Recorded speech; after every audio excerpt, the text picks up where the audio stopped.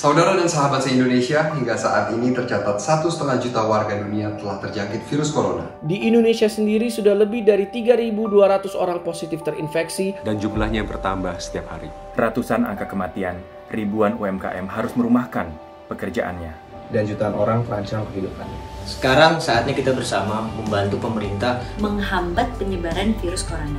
Mari kita masyarakat biasa menggunakan masker dari kain. Masker medis jumlahnya sangat terbatas. Masker medis untuk tenaga kesehatan kita yang sedang berjuang di garda terdepan. Saya Ciko Jericho. Saya Giring Ganesa. Saya Didit Maulana. Saya Jessica Mila. Saya Coki Sitohang. Saya Yosimo Kalu. Saya Julia Stel. Saya Inoran. Saya Caca Tengker. Saya Melanie Ricardo. Saya Jota Aslim. Saya Trisha SB. Saya Uya Kuya. Aku Boy William. Saya Najwa Shihab mengajak kamu untuk bergerak bersama.